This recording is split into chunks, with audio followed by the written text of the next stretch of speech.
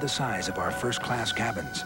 Eastern's corporate rates, the first-class seat you've always wanted for the coach ticket you've always had.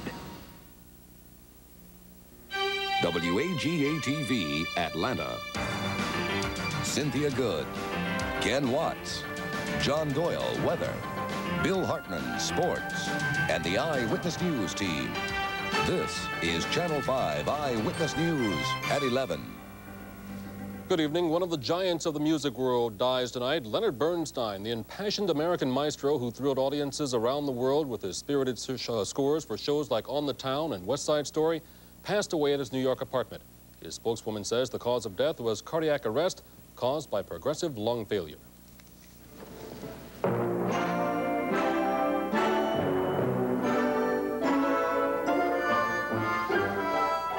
Bernstein's sudden death shocks his friends and admirers. It comes just one week after he announced his retirement from conducting.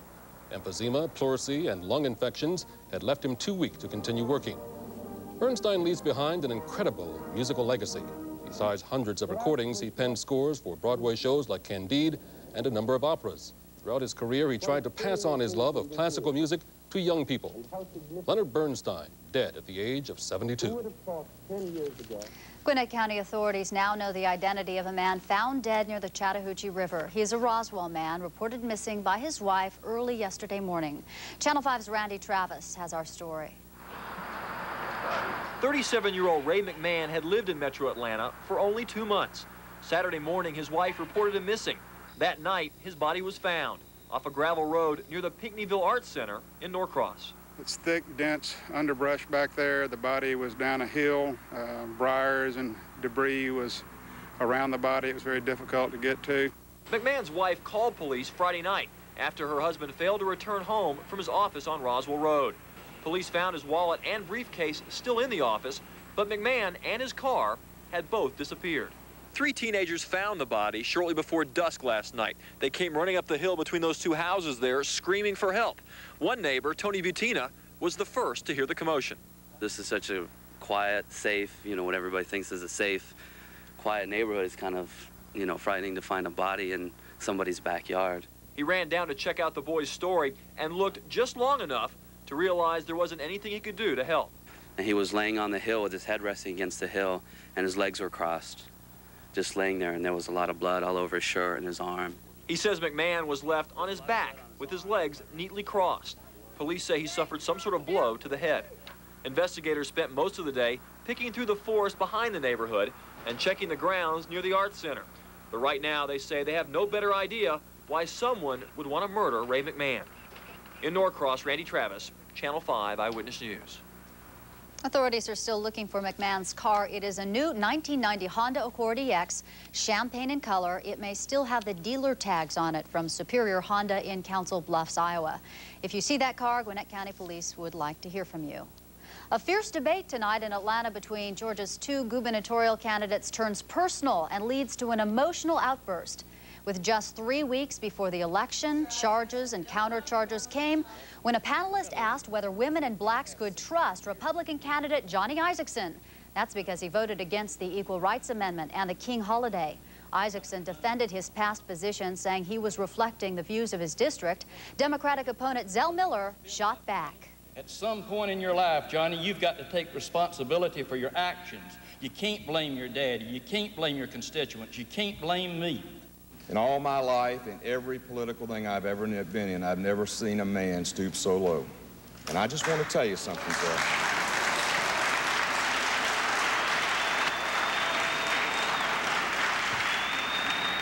Please don't let that take from my time. You can say anything you want to about me, Zell Miller, but don't you ever say I blame that on my father. Zell Miller, I defended him. You know good and well because you saw the debate on TV. You've taken liberal license with everything down there in a forum where we can't pick them all apart. You can pick on anybody you want to, but don't you try and take a low shot like that. Zell?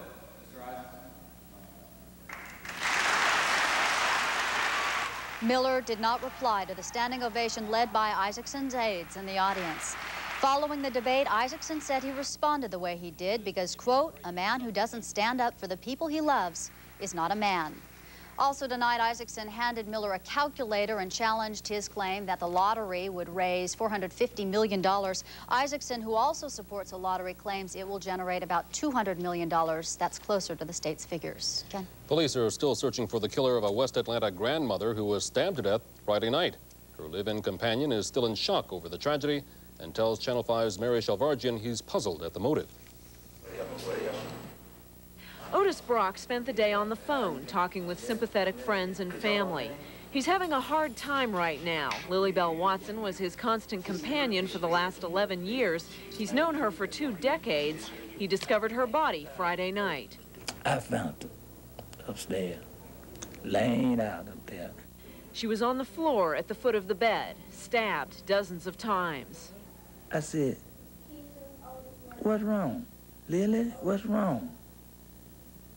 She didn't say anything, you know, and I know it from the, from the pregnant eyes, you know, I said, hey, Lily, what's wrong? What's wrong? And uh, didn't say anything, so I jumped back and looked. When I looked, she was bloody all up through here and blood all around her. There was no forced entry into the house. Otis thinks Lily may have known her assailant. The killer reportedly washed the butcher knife murder weapon in the sink before leaving. Otis is puzzled at the blank response of his neighbors. Somebody had to see or hear something. The hard-working housekeeper was a popular and familiar figure in its apartment complex. She was a real sweet person, and everybody around here knows this. And how, I, I, who, who could anybody think would have did something like that to her? Mary Shalvarjian, Channel 5 Eyewitness News. Now, police say they have no suspects in Lily Bell Watson's murder at this time. Clayton County Police now believe robbery may have been the motive in the stabbing of a landlord at his boarding house. Residents found the body of 80-year-old Ford Tompkins when they forced open the door of his room at the house in Old Dixie Highway. They say they believe they became concerned because there was no answer at Tompkins' door and he hadn't been seen since Thursday. Investigators say somebody stabbed Tompkins several times. They think robbery may have been the motive since money was missing from his room. So far, police have made no arrests in this case. The American Red Cross says about 75 people remain homeless tonight after deadly floods that ravaged Augusta. The flooding from Tropical Storm Marco killed four people and caused $34 million in damage. Federal investigators now are assessing the damage in East Georgia. 34 counties have asked about emergency assistance. Only four are under consideration for federal disaster aid. Hardest hit was Richmond County, where 85% of the roads were underwater. Hundreds of people in and around Augusta were evacuated from homes and hospitals. The same storm devastated parts of New York and New England. The rain has decreased, but there's still a lot of roadway flooding in Massachusetts. Water from storm drains clogged autumn leaves. Police report flooding in low spots. Some Boston residents report five feet of water in their basements. In New York, flooding forced some train stations to close temporarily. Coming up next on Eyewitness News tonight, Israel tells the United Nations to stay out as it defies the condemnation of the shooting deaths on Temple Mount. Two of Israel's deadliest enemies tonight trying to work out a link between the Iraq crisis and Israel. And we'll tell you about the doctor's report on Chris Miller, sent to the hospital tonight after that wild game against the 49ers. Stay with us. In the fading light, a cold blue haze, gay laughter, sad cries, these mark our days. The touch,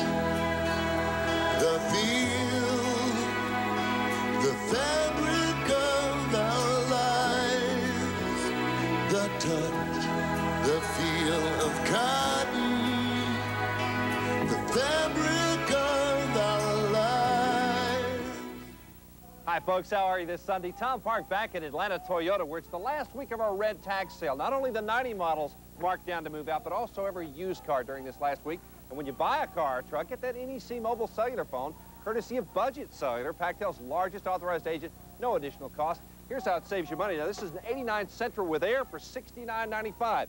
88 Honda Prelude, loaded, sunroof, 10,995. How about an 87 Supra for just 12,995? Only examples at Atlanta Toyota. My sister-in-law gets up at 5 just to figure out what to wear. I say, come on, get a life. Now, my closet has the pieces to put together a great outfit at a moment's notice. I tuck this in, I put this on, and voila, I'm ready. If time left over to change my mind five or six times, at least. Bugle Boy at Mervyn's for the clothes you love to live in. Making a splash, we're coming through.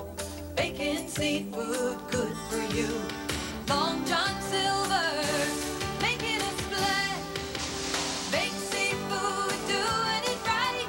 Flaky and white, oh so light. New at Long John Silver's Baked Fish, Baked Supreme, or Baked Trim Scampi. Get them fast. Making a splash, Long John Silver. Introducing new tender baked chicken, only $3.99. Using strong language, Israel says it will not cooperate with the United Nations team investigating the Israeli police shootings of nearly 20 Palestinians. Israel's cabinet is asking the UN delegation to stay away from its country. Leaders defiantly reject the UN Security Council's condemnation of the killings of Temple Mount last week. Condemning Israel for the act of a fanatic Muslim mob is simply unjust, incorrect, and in my view, not even expedient. The riot began last Monday when Palestinians threw rocks at Israeli worshippers. Police first used tear gas, rubber bullets, then live ammunition. It would be like to receive one of these things is not hard to imagine. If this is hurled on your head, as it was by these Muslim fanatics, it would have crushed a lot of skulls. But an Israeli human rights group today accused police of indiscriminate shooting and criminal negligence and said the government has attempted to hide the facts and mislead the public. The shooting of uh, the border police and the regular police, uh, most of it took place while there was no longer any danger to Jewish worshippers. Observers predict more violence in the streets of Jerusalem, the West Bank, and Gaza in the coming weeks. The latest on the Persian Gulf crisis tonight, a surprise meeting between PLO Chairman Yasser Arafat and Iraqi leader Saddam Hussein in Baghdad. The two discussed what they perceive as a link between the Persian Gulf crisis and Israel. Some diplomats say Saddam hopes to gain support in the Arab world by appearing as a champion of the Palestinian cause, a move the Bush administration rejects. There is no linkage whatsoever. And so I hope that uh, Israel and the cabinet and uh, the prime minister recognize how far that the president went to make sure that the Palestinian question, the occupation of the West Bank, is not related to Saddam Hussein. While Saddam met with Arafat, senior Iraqi leaders carried his message to other Arab nations today. And back in this country, time is ticking away for members of Congress. They have five days left to hammer out a deficit reduction package that would cut $500 billion from the federal budget over the next five years. Tonight, administration officials say they are prepared to reject any plan that they don't like and to allow the government to shut down. President Bush returned from Camp David today. He is expected to face his most brutal week as president. There are many plans on the table, and Capitol Hill analysts say there is little hope of any agreement. House Democrats want to impose a surtax on millionaires and raise the income tax rate for the wealthy from 28 to 33 percent. Democrats are for uh, having people share the load and pain of uh, paying taxes. And Republicans want to preserve uh, the wealthy's atmosphere and, and certainly give them more tax breaks. Meantime, Senate Democrats say they have a middle-of-the-road approach to the budget dilemma. Some say the White House is more likely to accept. We came through the back door, in effect, by putting a limitation on deductions, and that picks up $29 billion. And that means that we have a progressive table that those making the highest income will pay the highest increase in the tax. Senator. And if Congress fails to reach an agreement by Friday's deadline, tens of thousands of federal workers could be out of a job indefinitely. Coming up next, John Doyle joins us with that all-important Monday morning forecast. And then a little bit later in Piqua, Ohio, they're getting down to the fundamentals. We'll take a brief look at a brief festival next.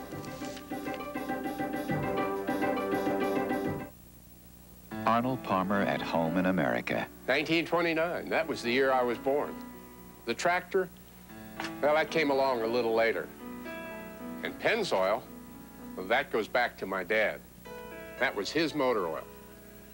I'll tell you, you couldn't be around him long without learning the value of keeping the equipment running. And you know, everything around here is still working.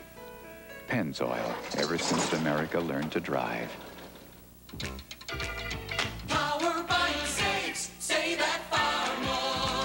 When it comes to saving money, power buying will make you feel a whole lot better. That's because we buy in big quantities and only when we get a great deal. Power buying means savings that get passed along to you. We're buying big, we're saving too. We pass the savings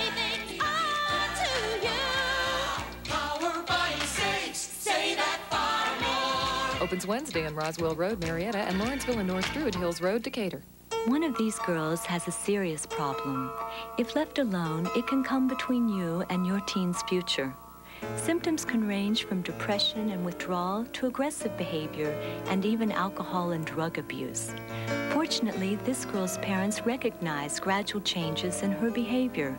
If you think your child needs help, call Charter's confidential 24-hour teen line at 1-800-835-TEEN.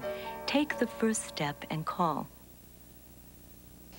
Just like Georgia, Ohio is in the midst of fall festivals, but one in particular is catching a lot of curious stares and turning more than a few heads.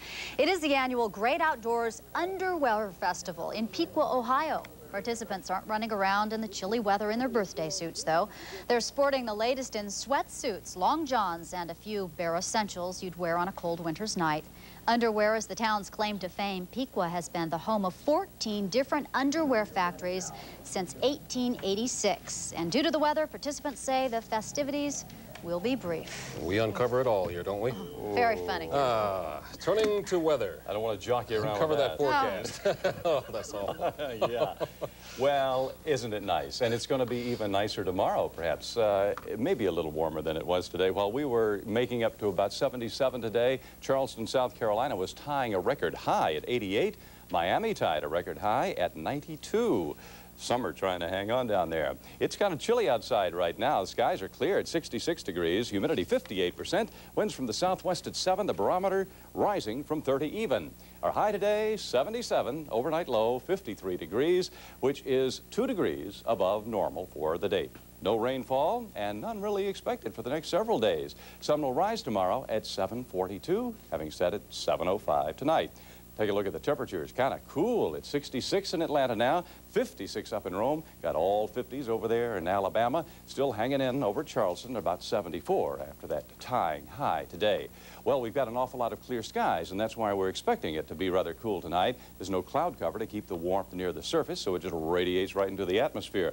Little band of clouds over north central Georgia, that's about it. General weak high pressure dominating much of the eastern third of the country right now. Cloud cover down around the Gulf of Mexico. Few showers there. There is a low in the upper atmosphere that's keep kicking up that rain, and that could spread a little into Georgia, although officially it's not in the forecast. There is a rather vigorous front that's moving through the upper midsection of the country. They had thunderstorms in Wisconsin. Eau Claire had hail about an inch in diameter. At Madison, some wind gusts up to 62 miles an hour. Some rain in Indiana, and then another brisk uh, storm moving into the northwest, bringing rain to the coast and some snow tonight in the upper elevations of the Olympic Range and into the Cascades of Washington, Oregon. Nice weather in California to match that that we're expecting here tomorrow. For tonight, we're looking for clear, cool weather with a low of about 53 and winds generally calm. When you get up on that Monday morning, look for fair skies, coolish temperature of about 60, warming to the mid-80s under mostly sunny skies during the day, winds from the northwest at 5 to 10. Channel 5-day extended forecast calls for really more of the same through about Thursday. Best chance of showers developing by Friday. Lows generally in the mid to uh, high 50s to low 60s, and those highs making it back on up into the low 80s a little Looks later. like a great week. You Yeah, enjoy we it. like the fall touch to this, too. Can't complain. Thank you, John. Thanks. Up next, be ready for gridlock in the skies. New predictions that air traffic will double here and across the nation. And hundreds gather in Kansas to celebrate a 100th birthday and to prove they still like Ike.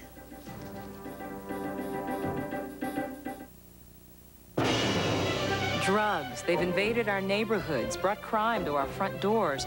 What better way to tell the story than to spend the night with a woman whose home is right in the middle of the battle zone? News is more than just headlines. It's the story of our lives. What concerns us, what informs us, what inspires us. We're determined to cover the news that affects all of our lives and show how it's important to you. Dedicated, determined, dependable. Channel 5 Eyewitness News. My kindergarten teacher never dressed like this.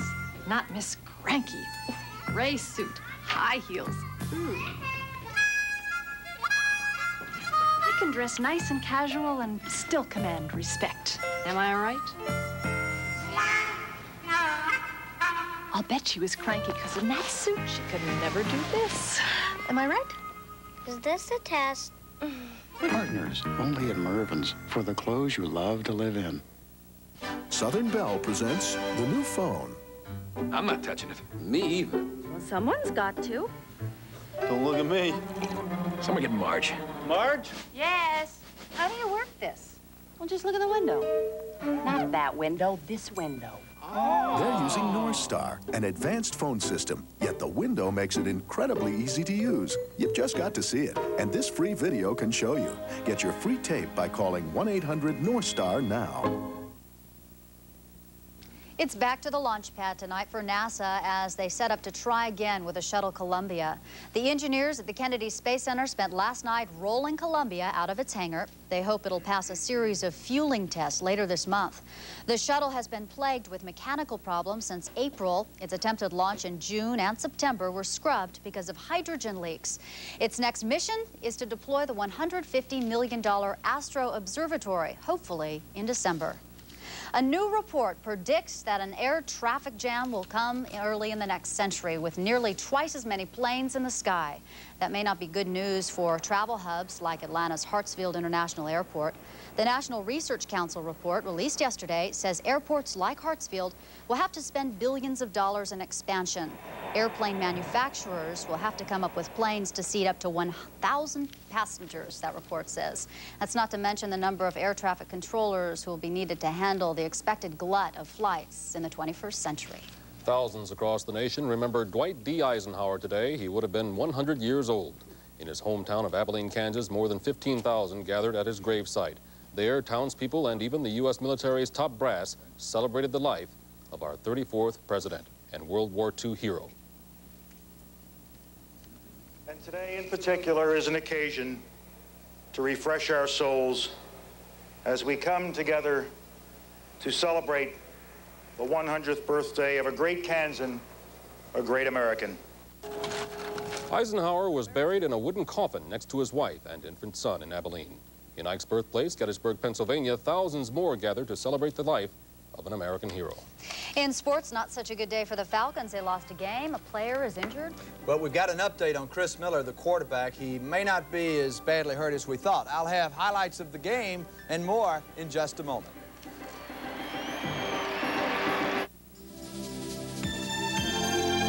There are times when the quality of a new car is put to the ultimate test. So in preparation for that, you may be interested in a recent J.D. Power and Associates survey in which the Toyota Corolla was named the most trouble-free car in its class. Because while there are a lot of important things to worry about in our lives, a car shouldn't be one of them. Test drive the Toyota Corolla today at your North Georgia Toyota dealers. We are entering a whole new era, the decade of positive change. Around the world, organizations have realized that you cannot intimidate human beings into productivity. The key is to let people do what they do best, whatever way works best for them. At the same time, fundamental principles of mass production give ordinary people access to powerful technology. That which was affordable to the few becomes available to the many. Mass production becomes mass productivity. The Industrial Revolution meets the age of enlightenment. The walls have come down. Opportunity has gone up. And your only limits will be the size of your ideas and the degree of your dedication. People, this is an exciting time to be alive. I never quite know where weekends are going to take me, so I wear clothes that'll go anywhere. Pick a place on the map, pick up my husband, and we're off to Tierra del Fuego. Here, you choose. Well, wherever I end up, I know I'll look good when I get there. You, however, could use some accessorizing. It's a good look. Cherokee at Mervyn's for the clothes you love to live in. Falcons fans breathe a sigh of relief tonight. I'm telling you, Chris Miller is uh, almost the franchise on offense. Good news tonight, Atlanta Falcon quarterback Chris Miller not seriously injured this afternoon. He was trying to bring the Falcons back against the San Francisco 49ers when this happened. He dropped back to pass, and the 49er defender got him in the knee. He was helped from the stadium, and at first it looked pretty bad. He went to an ambulance and headed for Piedmont Hospital while the game was still going on. But the prognosis is good, nothing torn. He should be able to play next week against the Los Angeles Rams. Now to what happened. How about everything? Joe Montana had the best day of his career. So did Jerry Rice. 49ers remain unbeaten, dropping the Falcons 45-35. This was a game that was worth the price of admission. First place, Steve Broussard fumbled the ball. San Francisco recovered. That's when Montana went to work on his records uh, career high, 476 yards passing. There he goes to Jerry Rice, 7 0 49ers. But Miller had a good day, too. 291 yards, three touchdowns. Rison, Andre Rison had nine catches, 172 yards, and two TDs. It's his best day as a pro. Then Montana started working on Charles Dimry. This one went to Rice. It's 14 to 7 San Francisco. Watch this. George Thomas blocks the punt. Bobby Butler picks it up and goes in for the score. It's a 14-14 game. But you can't keep Montana down, nor Rice. That's Rice's third touchdown of the day. Montana with his fifth TD pass. Jerry Rice's fourth touchdown pass. Montana, guess what? Need I say? Guess who caught it? Montana, 476 yards. All right, the Giants have beaten the Redskins 24-20. Third quarter, Phil Simms to Maurice Carthon. Finally, Darrell Green, the fastest man in the NFL, runs him down. He looked at two, didn't he? That set up Simms to Mark Bavaro, and it's 21-13 Giants. Redskins' last chance. Stan Humphries back to pass. He's intercepted by Mark Jackson, and the victory is preserved. The Giants are still unbeaten, 24-20 over the Redskins. Tampa Bay Buccaneers are tied for the Central Division lead tonight. That's right. They are 4 and 2 after Vinny Testaverde led them over the Packers 26-14 today. Testaverde to Ron Hall for 15 yards here as Tampa goes up 16 to nothing late in the second quarter. The Buccaneers defense picked off five Green Bay passes. Wayne Haddix goes in to score. Tampa Bay beat Green Bay 26-14. The Chiefs over the Lions 43-24. Bob Gagliano to Barry Sanders for 47 yards. Look at Sanders. Look out. Barry Sanders, and he might go. He had the Lions up 7 to 3 in the first quarter. Barry Word had about 200 yards for the Chiefs, though. Here's Barry Word for 53 big ones, and the Chiefs beat the Lions 43-24. Steelers scored 34 points today. Hey, beat the Broncos in an upset 34-17. Bubby Brister to Eric Green. Now, Brister to Green again in the fourth quarter. And this is how the Steelers upset Denver 34-17. Other scores tonight, Chicago beat the Rams 38 to 9. It was New Orleans over Cleveland, Houston beat Cincinnati, San Diego bombed the Jets, Raiders over the Seattle Seahawks, Phoenix 20 to 3 on Dallas. Lots more highlights on Sports Unlimited. Bob Tway won that Las Vegas Invitational Golf Tournament, hit the jackpot, $234,000, went to sudden death with John Cook, and look what John Cook does on the first hole of sudden death. It actually went into the hole. Watch it on slow motion replay. Cook's ball goes into the hole and is spit back out. Tway, all he had to do was par to win, and that was it. Bob Tway, the winner. I'll have more on Sports Unlimited in just a moment. Spit back out? Spit back out. How does that happen? It looks like it did. See you, Bill. Thanks, Bill. That's going to do it for this edition of Eyewitness News for Sunday, the 14th of October. For the news team, I'm Cynthia Good. And I'm Ken Watts. Thanks for joining us. Stay tuned for Sports Unlimited next. Good night. Good night. Channel 5 Eyewitness News has been brought to you by Cotton Incorporated.